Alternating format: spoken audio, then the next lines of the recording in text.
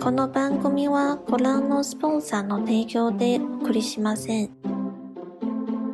我现在真的很想揍人，但我不知道揍谁。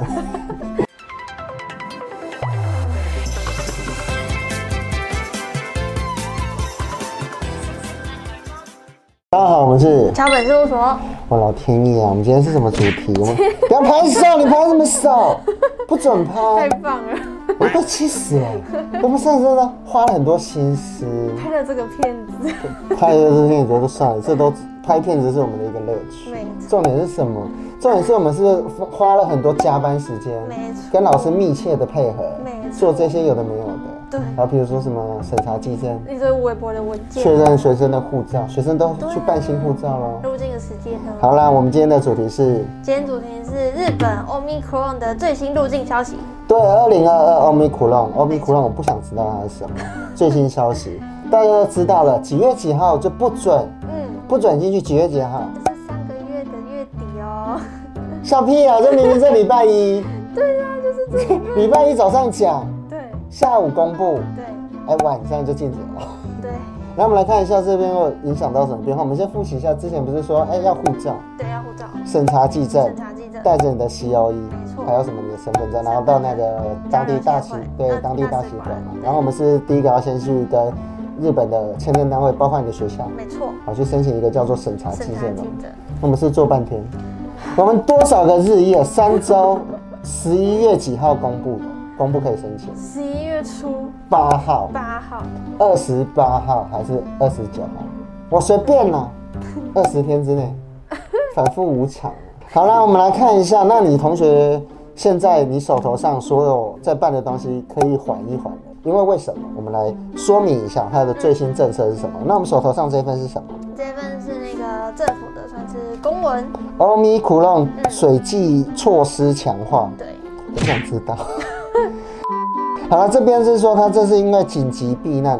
那我先说一下日本人啊，其实我个人也是觉得很矛盾。第一个，其实我会觉得这新的首相汉田首相，嗯，他的做法是对的，我得承认这件事情是对的。就是立刻停。对，立刻停，因为他之前就是太慢了，就过好久才停，然后人都进来的不断的感染。然后就开始爆发。对，然后这一次是停了之后，停了之后还不小心有一个进来，起码他早早一点停。对，所以在日本国内一片的欢呼声。嗯但我们不能生气啊，虽然我们是代办了，但是我觉得这件事情是对的。嗯，所以一片说干得好，这个按这个终于有一个，马上做终于终终终于有一个 正常的措施了对，啊，马上停止，因为很多国家就立刻停止。对，好，所以日本也是就是也是采用了这样的一个政策。那所以在日本的很多人说哦干得好，太棒了，好安心哦，对这样之类的，不会再受到其他的侵袭这样。对，在日本的风气是这样，那可是，在我们外国人眼，嗯，啊，完蛋了，怎么弄呢？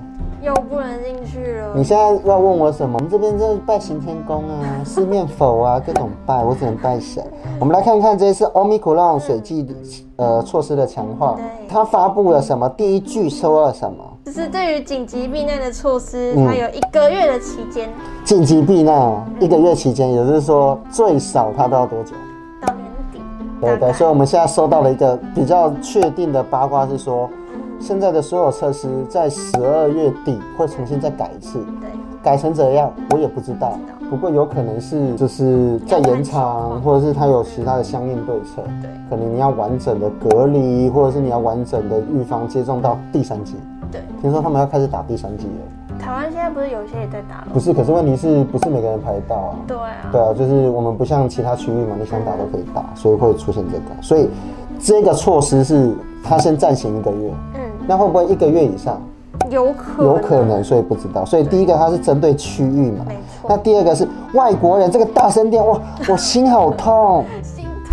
什么东西？外国人新规入国体，什么是新规？新的乌龟，我气死哎、就是第一次入国的人，我现在真的很想揍人，但我不知道揍谁。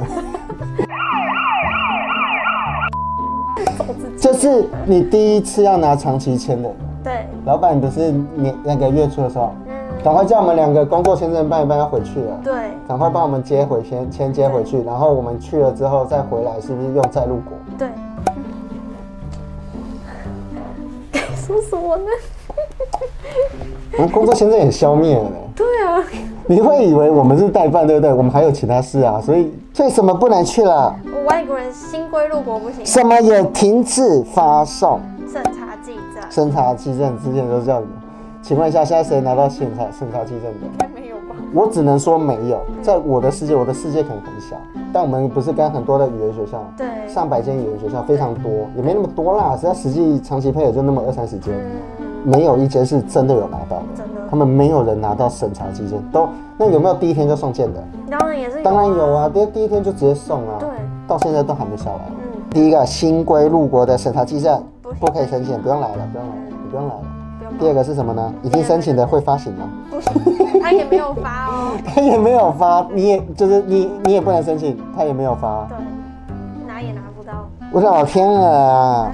然后再来呢，有效的什么？就是针对你有打好疫苗的人，嗯还有一个就是行这动自不要看，因为它只有两天而已。它这个的截止时间是怎么算？你知道吗？嗯上飞机那一瞬间，这一瞬间开始对算，，飞行时间算在那个时间内。只是说你在那个天上飞来飞去那群人是要接种疫苗，对要是要有疫苗，不然就是再见了。对然后再来是什么呢？Omicron，不好听的名字，这就就跟那个伏地魔一样，不能讲他的名字，一讲就气。